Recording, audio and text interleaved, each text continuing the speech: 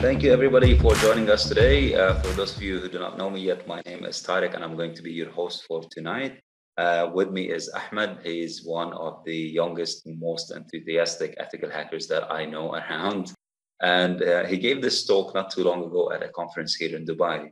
Um, but today he uh, decided to join us as well and give us the extended version of this really interesting topic.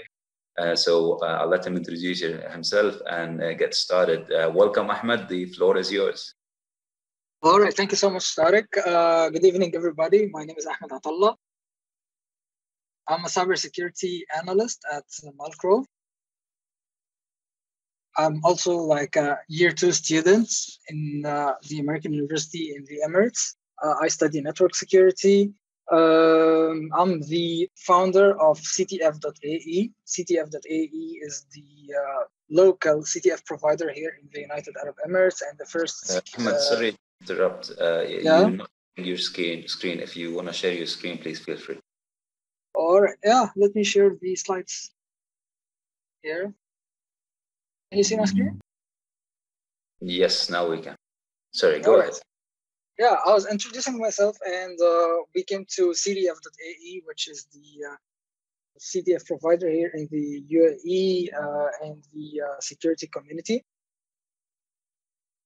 Yeah, I have a couple of certifications in the uh, field, like OSCP, etc. Uh, enough talking about myself. Now let's get started into the details of this demo. So today we'll be demonstrating a really interesting attack. It's like a, a type of phishing attacks which can be really stealthy, which can be done without getting caught by an antivirus or without getting caught by the uh, Windows Defender, etc. We're gonna try it latest uh, version of Windows 10, which is totally patched version, and we will see how it goes. So this is the demo scenario. We're going to start with the attack use cases. Then we will move to crafting the malicious files. Then we'll set up the SMB hash capture server. And then we'll move to the scenarios that can be used to transfer the file administrator. Uh, later on, we'll be doing, we'll be opening the malicious file from the administrator's uh, PC.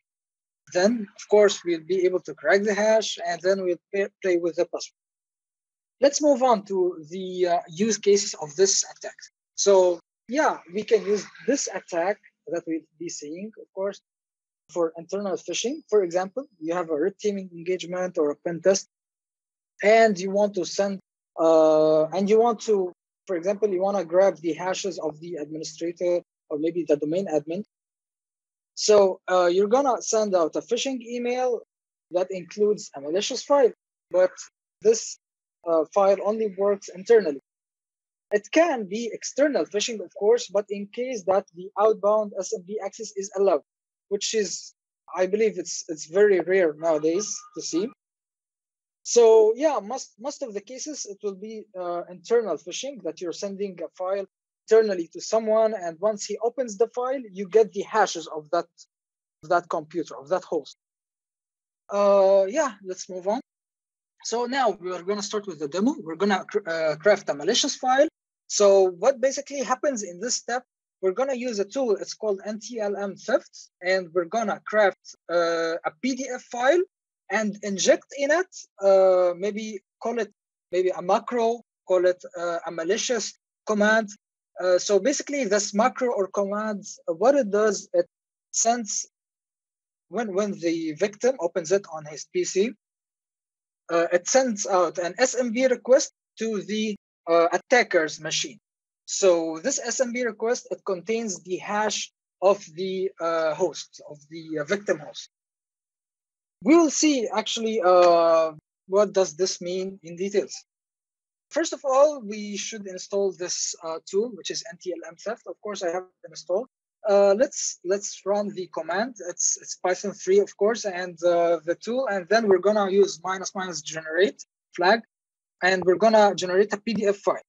Uh, of course, this PDF, it's not only about PDF. Of course, it can be also Excel file, can be a Word document, the doc document. It can be uh, what else? Maybe RTF file, maybe TXT file. But for this demo, we're just gonna go with the PDF file. Yeah, and then we're gonna use minus minus server flag uh, and give it the attacker's IP address, which is our own IP address. I will just show it up now in a minute. And then we're gonna use minus minus file name and give it any name for the PDF file. Let's move on. Let's let's apply this here. Now we have our Kali machine here. Let's uh, just go to the tool directory, TLM. Uh, yeah, say Python 3 ntlm theft.py. Let's say minus minus generate PDF minus minus a file name. It was minus minus file name, yeah. Let's say, for example, uh, Havoc invitation. Yeah. Okay, so looks like there's an error. Ah, I forgot the minus minus server. Let's provide that flag minus minus server and our own IP. Let's check our own IP from here, from a new terminal. fconfig. This is our own IP. Let's copy it and paste it here. Okay, so as you can see, the command here, I believe it's ready now. It should generate a file called Havoc invitation. It will be inside a directory with the same name. Yeah, it says generation complete ls havoc invitation. Yeah, we can see it here. cd havoc invitation. ls, yeah, we can see it here. Okay, so this is the first step. We have created the uh, malicious file. We have injected, uh, of course, this is being automated by the tool that uh, injects that malicious command to send us the SMB request. But all in all, the step is done. Let's move on. What's next? Uh, we need now to set up the SMB hash capture server, which will receive the uh, SMB request, will capture the hash. So here we have two options. Option one is to use Responder, which is a very famous tool for uh, LLMNR and uh, all these network attacks.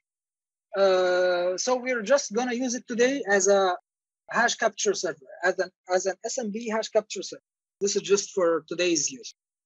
Uh, the second option, which is Metasploit, we can use this module, which is uh, auxiliary server capture SMB. We can we can go with Metasploit uh, module, but personally, I would prefer to use Responder since it's more famous to get this job done.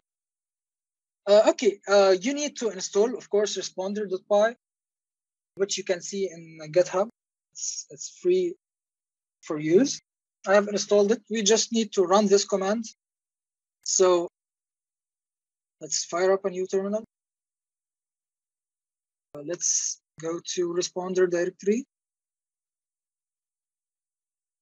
And let's say Python responder.py minus i is zero. Now we're asking it to listen for any uh, requests, SMB requests coming on this uh, network interface, which is ETH0. It, it might vary, of course, depending on uh, your, uh, your network adapters, your setup, etc. Let's run it and see. Okay, looks like it's working. It says listening for events. Now it's gonna listen for any uh, SMB requests coming. What's next here? We have done this step. Let's move on. Now we need to send the file to the admin, to the administrator machine. Okay, so in this case, uh, as we have discussed that we have internal phishing uh, scenarios that can be done. Maybe one of the scenarios that you're gonna talk to the HR and you're gonna send them a PDF file. Uh, maybe you can send an Excel file, an Excel sheet to the uh, to the finance department and they, then makes sense for them to open the Excel sheet. And once they open the, the sheet, you get the hashes there is like tons and millions of scenarios that you can think of to get this file downloaded by the victim host. But for this demo, we're not digging deep into the phishing scenarios. We're just gonna download it manually uh, on the victim host. Okay, so let's let's host the file that we generated recently. Let's say Python minus m sample HTTP server. And let's host it maybe on port 8080 because I know this port is not being used now. Okay. Okay, now we're, we're we have this file being hosted on port 8080. We just need to access it using uh, our IP address, our uh, this IP address on port 8080. Here we have the Windows 10 patched and latest version. Let's open the web browser and browse to the IP address to download the file manually.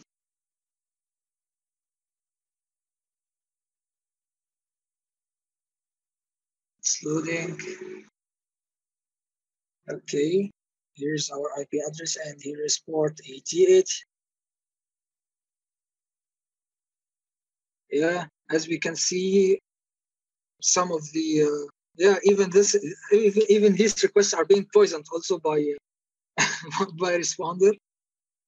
It's a very evil tool to be honest. And we can see the uh, yeah the requests here coming. Okay uh now i believe we just need to download this file.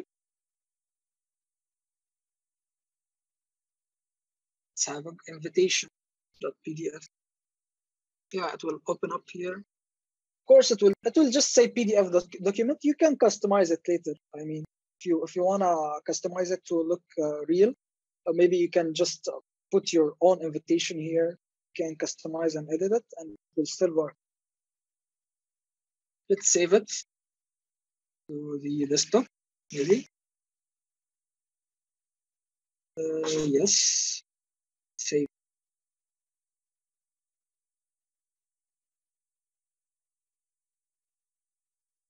All right, now the moment of truth. Let's try to open it using the PDF reader.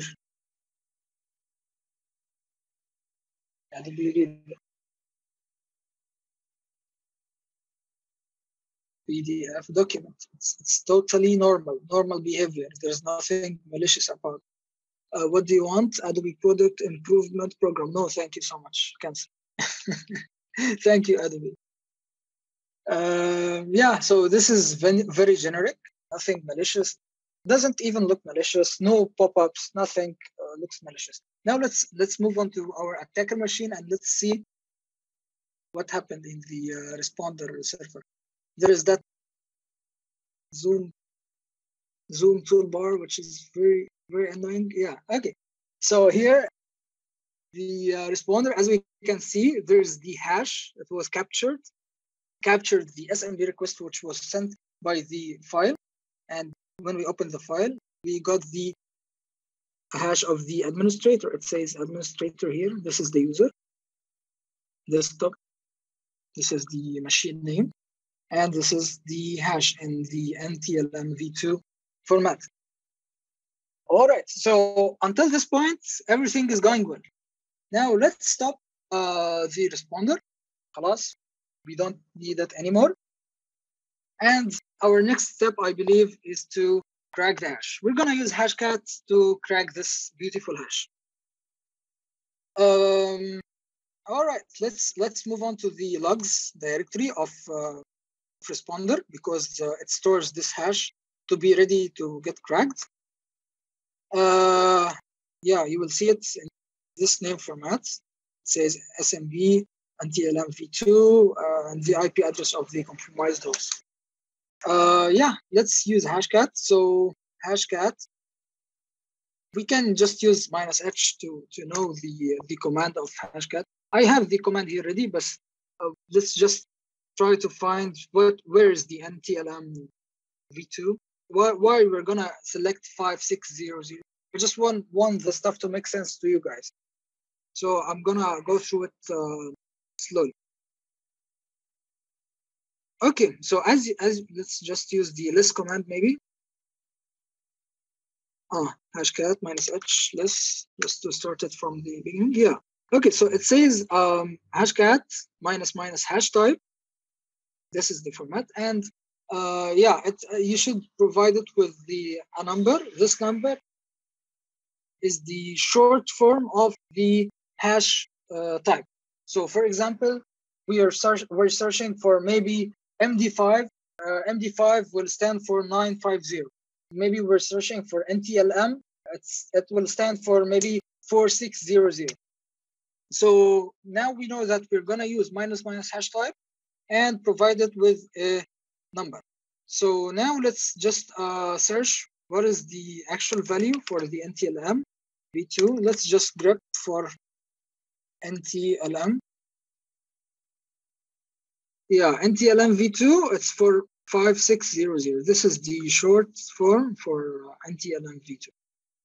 Okay, that, that's why we're going to use this command, which is hashcat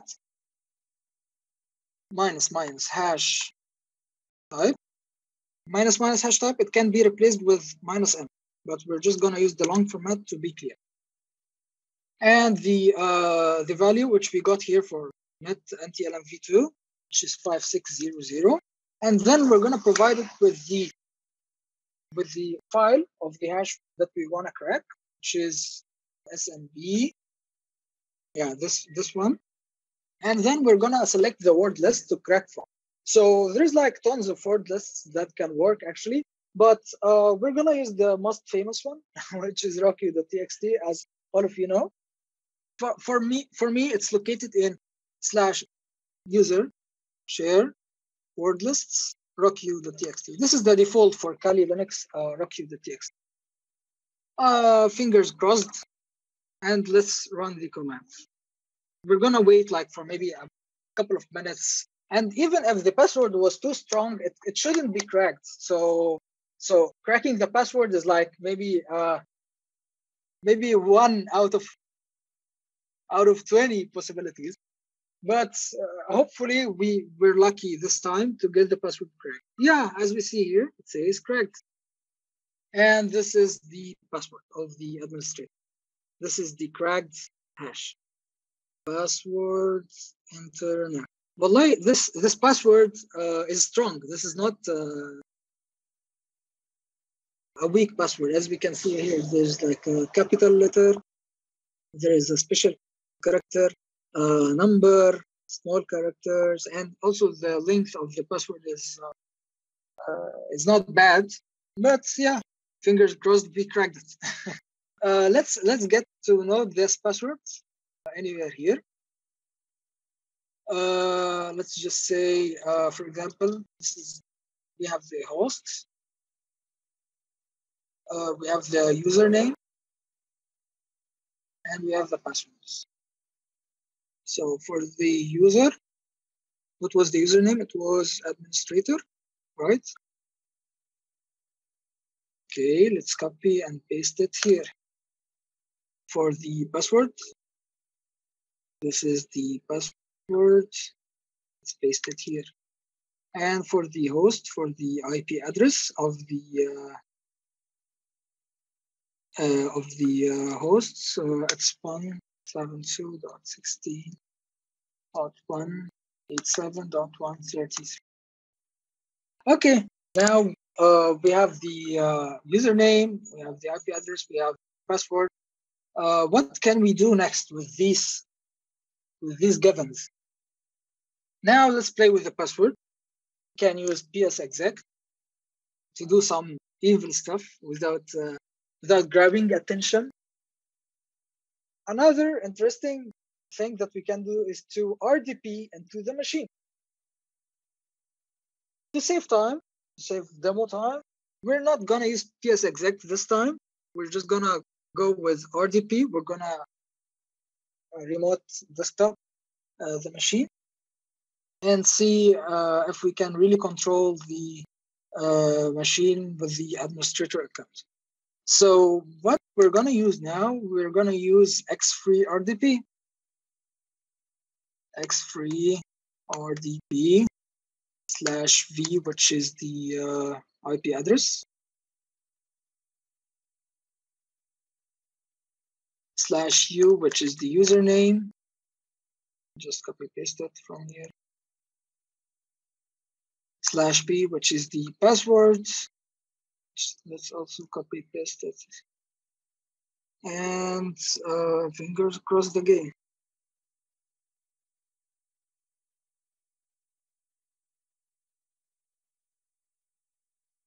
Okay, it's it's working. It's logging in. Yeah, as we can see here, the administrator account is saying welcome. Here's it. This is the uh, actual screen that we left it open. Let's it. No, just don't save it. Uh, let's move around. Let's do anything. Maybe open CMD.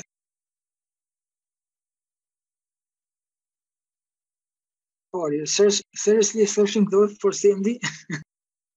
Let's move. Yeah, just open CMD, man. Yeah, here's it.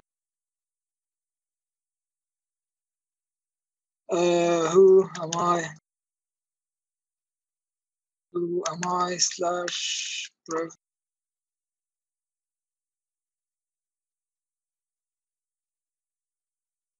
Yeah. Okay, looks like, uh, yeah, this is the administrator account. So yeah, we have successfully logged into the administrator machine and now we have full access and we have successfully compromised the administrator machine. Uh, yeah, I believe this is it about the uh, show. Uh, of course, you, you can do a lot of more uh, interesting stuff using the uh, uh, the cracked password or even the hash itself. You can do pass the hash. You can do a lot of more interesting stuff. You can do lateral movement. You can do like tons of interesting stuff with such uh, attack scenario. Uh, this is it. Uh, thank you so much, guys. And uh, I hope you enjoyed it. And I'm free for questions. Thank you so much, Ahmed. Very interesting demo indeed. Um, there are a few questions that came in, so I'll just uh, throw them at you one by one. Um, can you just explain a little bit because you went a little bit quickly uh, over the tool and how the tool is used. We didn't really um, see a little bit of explanation on what does the tool do under the hood. How does it work? So maybe uh, if you elaborate a little bit more on this, that would be great. All right. So yeah, I don't have a lot of theory to uh, to show today, but let me try to explain it in simple ways. So basically, uh, there's something called SMB requests that are built in Windows. Uh, this is like a Windows feature, which is uh, the SMB protocol. It uses the SMB ports to communicate with other machines in the network and for like tons of other purposes. So um, it can also be used for like for example if you're sending what is it called? The dns requests. For example you're sending a dns request which is not known by the machine. So at this at this point the host the uh, uh, the windows host it sends out the hashes to say that okay use my hashes and try to access this machine so in, in today's show, in today's uh, demo, what we're doing, we're, we're not doing DNS requests, we're not doing uh, LLMNR network attacks. We're, we're just doing something very simple. We're generating a file, we're generating a PDF, Excel, or Word document. In this demo, we use the PDF file, and we asking the tool to inject, let's say, to inject a macro or to inject uh, a malicious code and this code, what it does when the victim opens the file, it sends out a DNS request with the hashes of the victim. So that's why when the uh, when the victim opened the uh, the uh, the PDF file, we got the hashes when we listened to the SMB protocol. Mm-hmm. Here, we're not waiting for it to do the authentication. We're not we're not asking it for anything. We're just we're just injecting that uh, command. Like for example, you're saying that it will it will ask for the resource and it will provide the credentials. But here, no, we're just giving out the command. We're we're injecting the malicious command inside the PDF file, so that once the victim opens the malicious file, the command gets executed as a macro or uh, as an uh, Adobe uh, macro, etc. It depends, of course, on the file type, but the concept here is that this tool automates it for you, automates the process of injecting the malicious code, etc. So once the victim opens the malicious file, it sends the, the victim's machine sends out an SMB request to the to the listener, to the uh, attacker machine. Got you. So uh, I guess that automatically answers the second question that came in. What is the difference between this attack and using responder? Right. Yeah. Actually, using responder, it's like uh, there is like tons of uses for responder. The most famous use for responder is the uh, LLMNR and the uh, NTLM. Uh, uh, sorry, the LLMNR and the the requests poisoning, etc. But but uh, uh, today we're using a responder for a very simple usage, which is just using it as a listener, not uh, for attacking, not for network poisoning. We're just using it as a listener. It listens for the, it just listens for the SMB requests and captures it. Got you. Okay. Uh, we have another question coming in because you mentioned that this can be used in an internal pen test if you're doing an internal phishing. Uh, we right. have a question that comes in. Can this be used in, uh, on over WAN, which I would assume uh, is an external pen test, for example? Is right. Yes. Uh, actually, uh, it's as we as, as, we mentioned in the beginning of the uh, presentation, it's possible, but there should be some certain conditions, which is which is that there is the SMB outbound enabled, like should, like for example, the administrator has the firewall allowing the SMB connections for outbound to be out for the internet, which is too rare to happen nowadays, of course. You know that. Yes, yes, okay. So uh, it would work if uh, the condition of SMB being allowed egress externally to the internet, then it would work. Otherwise, it would be used internally to try and steal hashes. Right. Yes. Got it. All right. Uh, we have another question here, and the question says, uh, how do you mitigate this or how do you protect against these kind of attacks? Okay, so basically, um, okay, this question is very good because, you know, this tool, I want to show you something. I, I believe we have time, Tarek, right? Yeah, we do have some time. All right, so uh, let me just open up the, uh, the GitHub repo for the tool that we use today.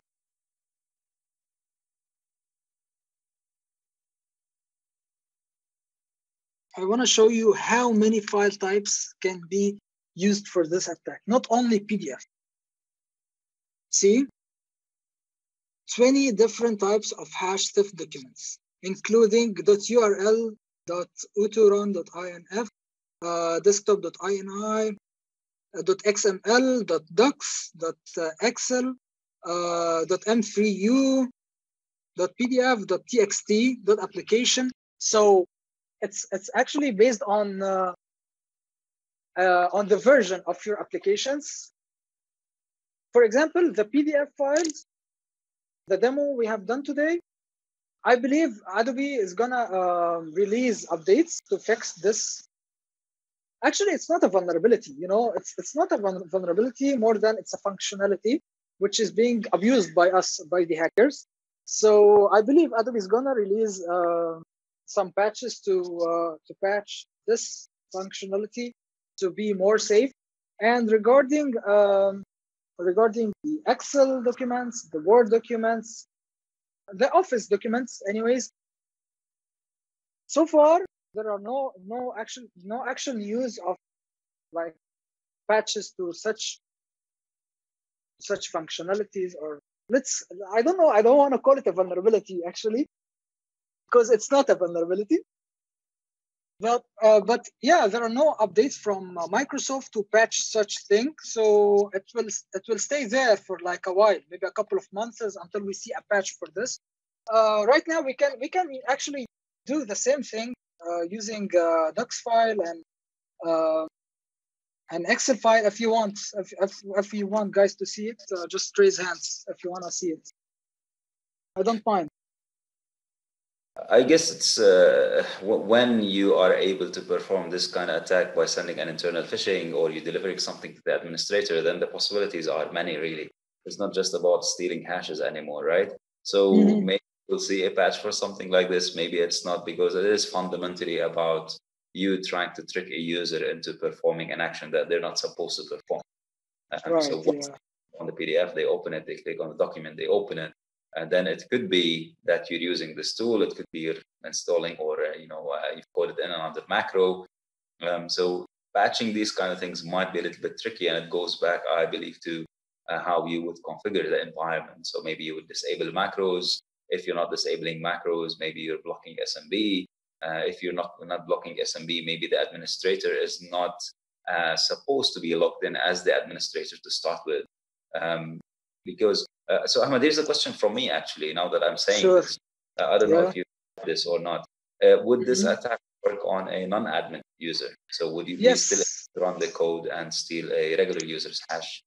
Yes, actually, the answer is yes. Uh, the only reason I uh, I used the administrator account for for this demo was that I was go uh, I was about to use PS exec because PS exec works only if the user is administrator. But since uh, just to save time, we didn't do PS exec today. But uh, other than that, I, I, would have used the normal user to demonstrate such attack. It will work on any type of user, administrator or non-administrator. Excellent, excellent. Okay, we have another question asking how to customize the document. Uh, is that mentioned in the manual or in the uh, help me or the help help me in the help file of the?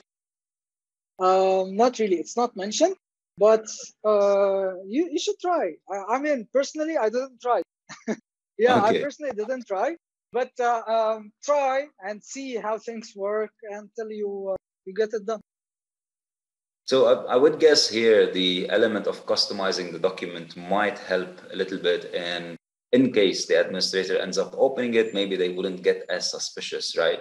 Uh, but mm-hmm. in any whether it's customized or not, and the admin or the user, any user opens this document, then it's a little bit too late because the, the hash is already stolen, regardless of how the document looks like.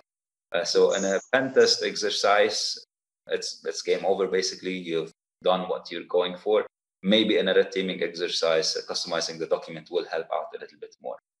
Yes, so you prevent the alert, maybe. Or, yeah. Uh, yeah. okay. Perfect. Uh, I think we have one more question, which is a little bit more of a generic question, and uh, it's asking, can we learn this skill from our courses on Hackers Academy?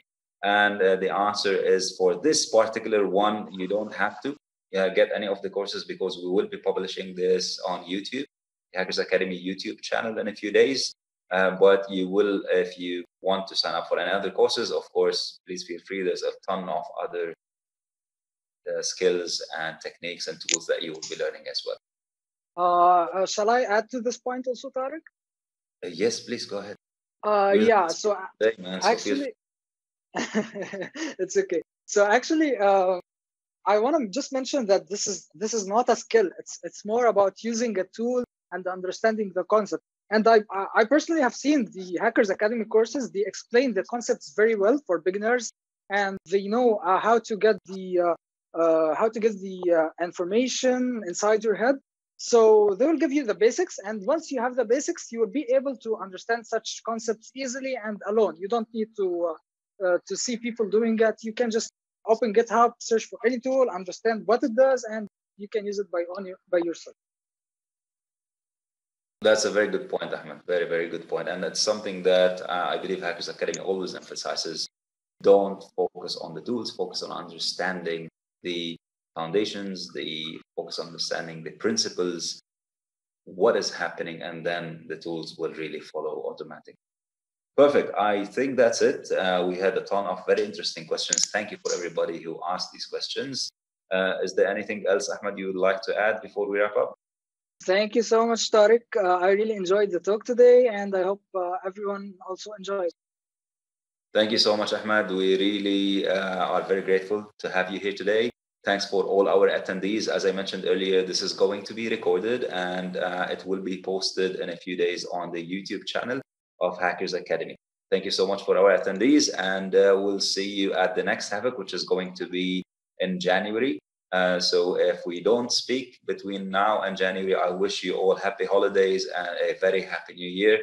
I hope, and I think everybody hopes here, that 2021 is going to be a little bit better than 2020. So you best for the new year. Thank you so much, and uh, hopefully we'll see you guys soon.